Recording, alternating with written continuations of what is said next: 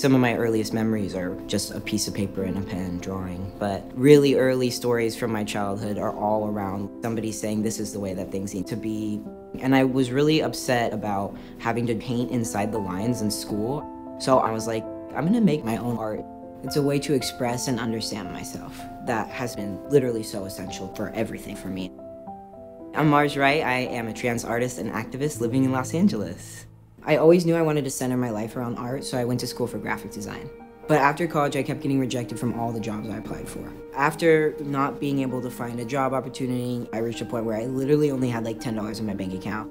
So I had this idea to make these stickers. They had positive quotes about how being trans was something to be proud of. After I posted them online, they sold out in 30 minutes and I just kept making more. I didn't think that people would want to support me, and they did. Then I started making and selling my own clothes.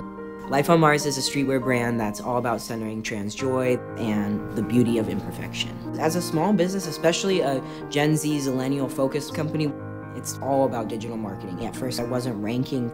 Then I learned how to create search terms that target the right kind of people. As a digital first company, we've grown over 5,000%. Having all these digital tools, I'm able to have such a personal experience with these customers. A lot of trans youth really respond to his work, and I think it comes from that desire to be seen, to be celebrated, to be validated. His brand is for all, but it's especially for those young folks out there that need someone that they can believe in. I got the shirt that he made. It says I love trans people on it. And um, it's really cool, and the art on it is really cool, and it fits me perfectly.